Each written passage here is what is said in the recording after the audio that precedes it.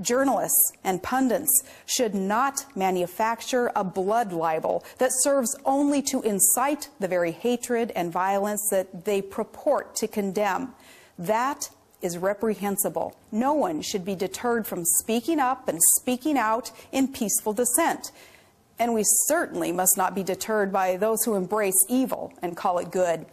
And we will not be stopped from celebrating the greatness of our country and our foundational freedoms by those who mock its greatness by being intolerant of differing opinion and seeking to muzzle dissent with shrill cries of imagined insults.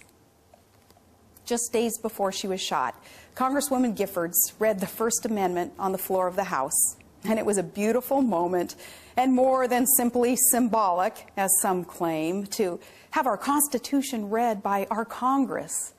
I am confident she knew that reading our sacred Charter of Liberty was more than just symbolic. But less than a week after Congresswoman Giffords reaffirmed our protected freedoms, another member of Congress announced that he would propose a law that would criminalize speech that he found offensive. We can't stand for this. I mean, th this is a situation where I mean, people don't. I mean, they really, really need to realize that the rhetoric and firing people up, and you know, even things. For example, we're on Sarah Palin's targeted list, but the thing is that the way that she has it depicted has the crosshairs of a gun sight over our district. And when people do that, they've got to realize there's consequences to that action.